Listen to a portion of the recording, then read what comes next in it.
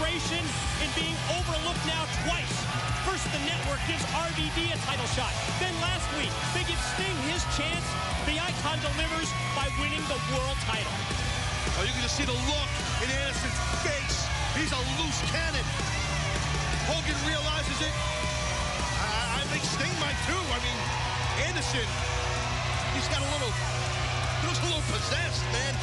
You know, uh, I really, really to come out here and actually, I love to come out here and cut your asses off. Obviously, at this point, I have not spoken clearly enough or loudly enough. So, with that being said, I want my my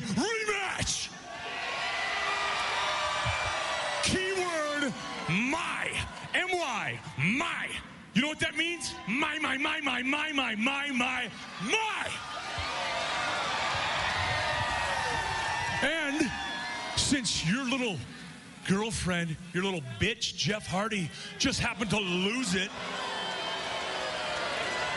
to this guy, this guy, Sting, becomes that guy for me. And I really don't care what Hulk Hogan wants, brother. Bischoff wants, sister. Or what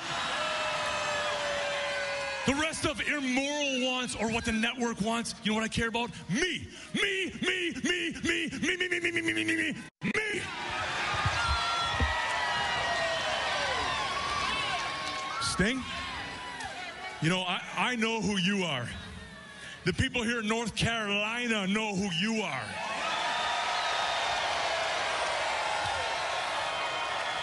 But uh, I don't think we've actually been formally introduced. So, uh, with that being said, uh, oh shucks.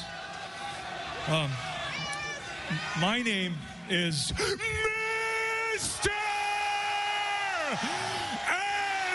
Anderson.